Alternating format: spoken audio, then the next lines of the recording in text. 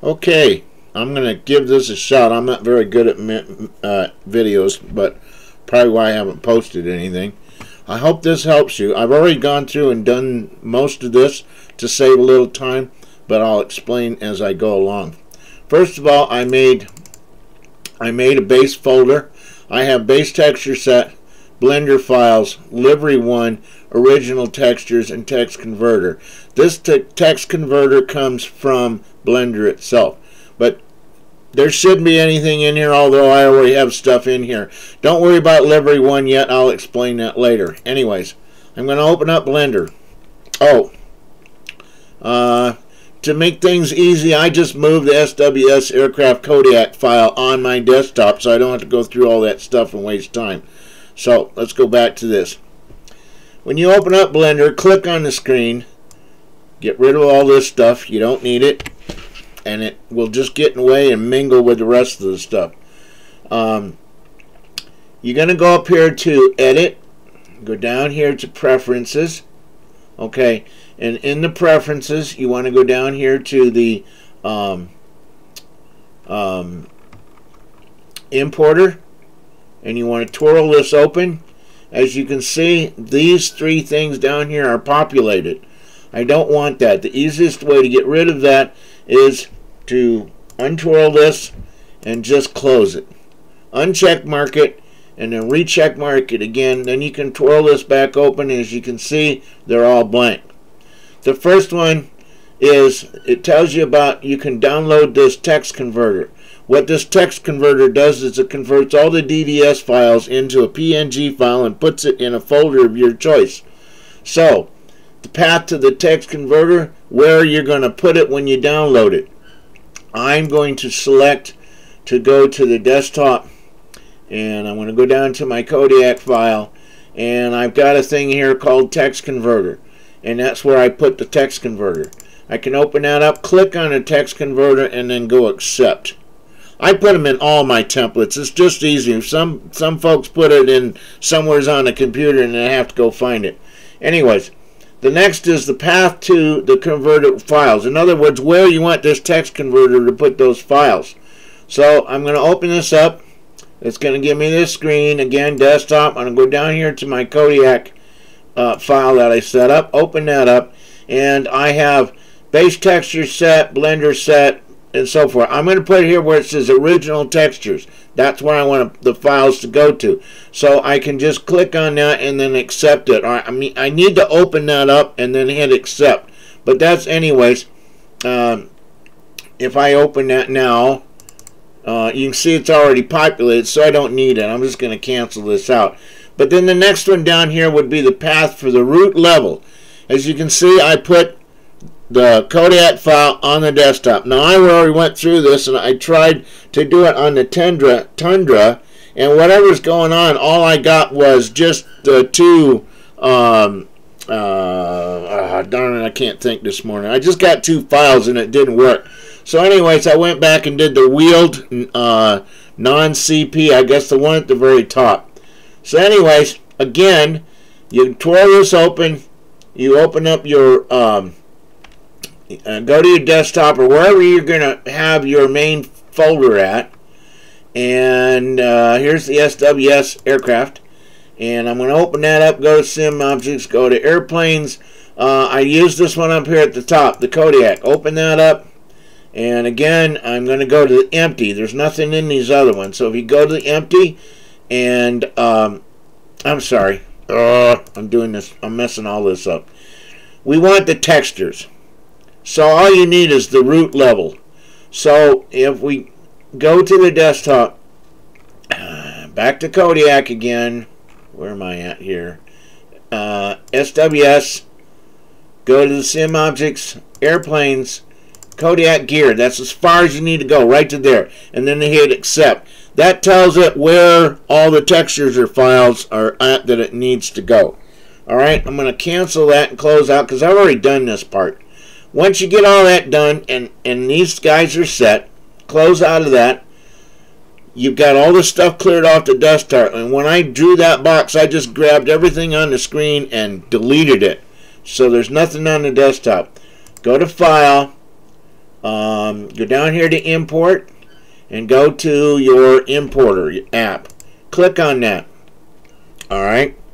So now we're going to, again, navigate to where the Kodiak's at. You, you probably know how to do this part of it, but I'll go through it. I'm going to go down here to, um, oh no, darn it. I'm really messing things. See why I don't do videos? Uh, go to the, come on, file, import. There we go. Okay, desktop. Uh, I'm going to go to the SWS. There it is. And the SimObjects airplanes. Um, yeah, I'm going to go down to the Kodiak gear. I'm going to go to model empty and I'm going to select the first one up here, 00. zero. You can do it with the load one, but uh, it's not as good of a set. Yeah, I have to do with that with the Husky because it only has a load one and everything's encrypted. Anyways, I would hit the import button and it's going to take a while. If it does it really quick and a model shows up, you did something wrong. Go back and do it all over again. That's what I had to do the first time I tried this. I'm going to cancel out of this because I've already done this. And I'm going to close Blender because I already have it set up. So what I'm going to do is I'm going to open up Blender. Now you will have had that model come up and what you're going to get is you're going to get this. This is going to come up on screen. You're going to have all these hairs, you're going to have these bones, all this stuff that you don't need. What I do at this point, after I've looked and checked into my Kodiak folder, and I've gone to my original set, and you see there's all my textures, all in PNGs for me. I don't have to convert them. They're all done. It's everything I need to populate that airplane. So I'll close that back out, come back up here. Now, if you want to see the airplane right off the bat, how it's supposed to look, what are the textures, here's some important stuff. Up here in this corner, right here, if you can see my arrow, um, I had a thing that highlighted my arrow. It's not highlighting for some reason. If you go to the second button over and click on it, it should populate that whole airplane with all the proper textures. See, there it goes. It's loading up. It's going to load up the temperatures. It takes a while, especially if there's a lot of textures. So what it's doing is just putting all the textures and making them all visible for you. And a lot of this stuff that looks weird, it's frost layers. There's things here, I'm using the mouse button to move around, but there's things here that you don't need. First thing I'm going to do is I'm going to open up these two little guys here, this, uh, this little visibility thing. And here's a list of all the extras that are shown that you don't need. I don't need the annotations. When it says annotation, it's usually stuff up in this corner. And anyways, you can play with that. I don't want the floor and I don't want the X and Y axis. Not on the layout, anyways. I got rid of that. I'm going to get rid of the 3D cursor. I'm going to get rid of the annotations. Bones are gone. Motion paths are gone. Origins are gone. The extras are gone. Relationship lines are gone. The only thing I have left is outline select and the text info, which is right there.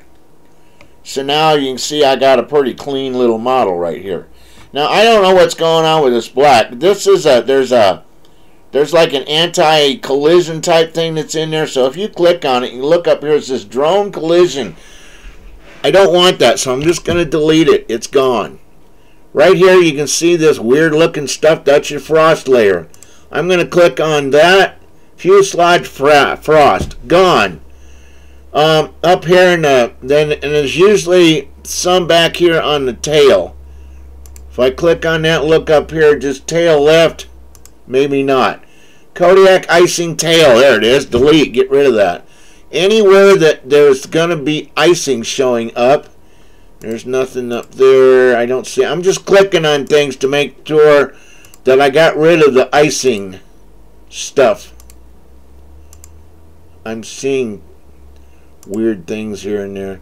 It looks like I got it all. I may not have it. Ah, there's the landing gear icing. Get rid of that landing gear icing.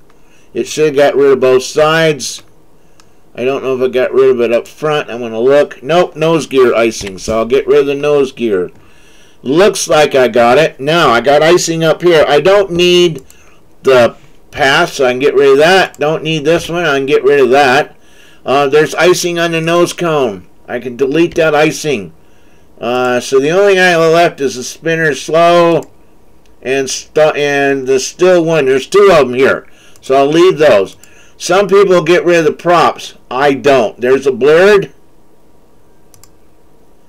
And then there's the prop icing. Aha, get rid of the prop icing. It looks like I got to do that to each one. Yep, icing on two. Uh, icing on blade there and uh, icing there too. Alright, I got rid of the icing. I pretty much got to clean these decals. If you want to get rid of them, go ahead and get rid of them. I'm going to get rid of them right now. You don't need them uh, because you're not going to be putting anything in there. Uh, so I'm going to delete those. They're gone. Uh, that looks like it's painted in. There's other decals around here, different layers and stuff. Basically, get rid of what you want to. There's glass here. You don't need the windshield. Delete the windshield. Uh, there's a window, windshield pilot. Delete that. Uh, there's glass. Kodiak fuselage forward. Is there glass in here? Must not be. There's nothing in the door. As you see what I'm doing, I'm going around, I'm looking. There's a windshield cockpit. I'm going to get rid of that. Is there a windshield here? Uh, no. Doesn't look like it. Alright. I think I got everything out of here that I want to get rid of out of here. Alright? Now, that's pretty much set up. That's the way I want my model to show up when I open Blender. So what I'm going to do is I'm going to go up here to my file and I'm going to save my blend file right now. So I don't have to go through that all again. And that's my blend file. I, you can name it if you want. And I usually do. I'm just for the sake of the video. So I'm going to save that again. So what should happen now is if I exit out of here, I should be able to go down here and hit Blender. It'll show up as Untitled right top left. Click on that. And boom, there's my model. That'll open that way every time unless I change position. I change something over here. Whatever I do, if I save the blend file, it will change how this appears. Next thing I do is I go back to the I go to the model section. Although I don't model, and I do the same thing. I get rid of all this stuff that's not needed. The floor, the the 3D cursor, all these little things. Okay? So if that gives you an idea what I'm doing here. And then again, you can save it at that point, or you can go to the next section, which is sculpting. The only thing in sculpting that's up here is the extras, so I get rid of that. Okay? UV editing. You will use this area on UV editing. So I kind of do the same thing here. I'm going to move my little window over here and make things a little bit smaller so I have a bigger picture of my UV stuff. Come up here and use the hand and I'll move the airplane over a little bit. Again, I'm going to go through, I'm going to get rid of all the crap that I don't need. Floor, X, Y, and Z, um, the 3D, extras, relationship lines, motion, motion paths, and all that stuff. I don't need that. That's all I need right there. Okay, now I'm going to move on to my texture paint. Again, I'm going to make this smaller and I want a bigger window here. Alright, and you see I've got the bones again. There's all them bones and all that stuff. That's this little menu right here. Get rid of, I'll, I'll keep the floor and the XYZ here. Get rid of the 3D cursor, uh, bones, motion, origins, extras, relationship lines. Uh, a lot of people will keep the 3D cursor going because what that does is put a little um, or not the 3D cursor. Hold on. Um, it's the origin. Maybe it is the 3D cursor. Anyways, you get a little uh, a little circle up here where you can move around and you can you can turn your aircraft to that. And I I should use it. I don't use it. I'm sorry. Uh, I'm just trying to show you here what I'm doing. Anyways, this is about how I would like my texture painting window set up. All I'm doing right now is setting up my windows and getting everything the way I want it. I use nodes a lot, so my next step would be to the shader. and I go up into the shader and do the same thing. Get rid of the stuff that I don't want showing. I'll leave the HDRI, that's, that's this background. Um, oh, come on. Get rid of the bones, get rid of the extras, get rid of, nah, I'm good there. Text and the outline and that. That's just the way I like it. I set things up a little differently on my windows, but that might be a little bit too much for you right now. Don't worry about this. But now that I'm all done, I've gone through those, and those are the only the windows I care about. I'll go back to layout, and I'll go up here to file, and I will save my Blender. Now that's basically the way I want everything up, set up. I'll go further, but at this point, what I'll do is I'll go down to my Kodiak, whatever my template is, I'll go into my blend files and I will grab these two files right here and I will make a copy and put them up into the backup. So now if I screw up, make sure I got them in there. Yep, they're in there. So now what's going to happen, let's say that I have the airplane this way. And let's say that I'm over in this thing here and I don't know what that is or I'm down here. And if I save that, if I make a mistake and I come up here and instead of saving, uh, let's go to texture paint. Okay, let's say I'm here instead of my texture painting stuff and here. If I go up here where it says image, you'll have an asterisk next to it and that will tell you that you made some kind of change to your image and Blender will not save those images. I will go to the image and save it. If I go to the um, file and I go save at this point, it saves exactly what's there. You might come back in and go, uh-oh, what do I do now? Well, you've got those backup Blender files that you saved, and it will reset this to where it's supposed to be. You might lose a little bit of your painting and stuff, and have to go back and redo it, but it will reset everything to the, exactly the way you had your template set up. Okay, I hope that helps in this part. This is probably getting long, so I'm going to come back in and I'm going to do another video. I'm going to return to the layer. I'm going to put this back. I'm not going to save anything because I got it the way I want it. I saved that originally, and I'll exit. Once you go through it, you got everything set up, you can always go back in, open your blender up, open up your your blend file and check it. And if it repopulates like that, you're fine. You got everything set up. You're ready to go. You can do whatever you need to to that airplane. Okay? Hopefully that helps. That that'll be done with a basic one, and I'll do another one here shortly to see how I set up so that I can do multiple liveries. Okay? Here we go.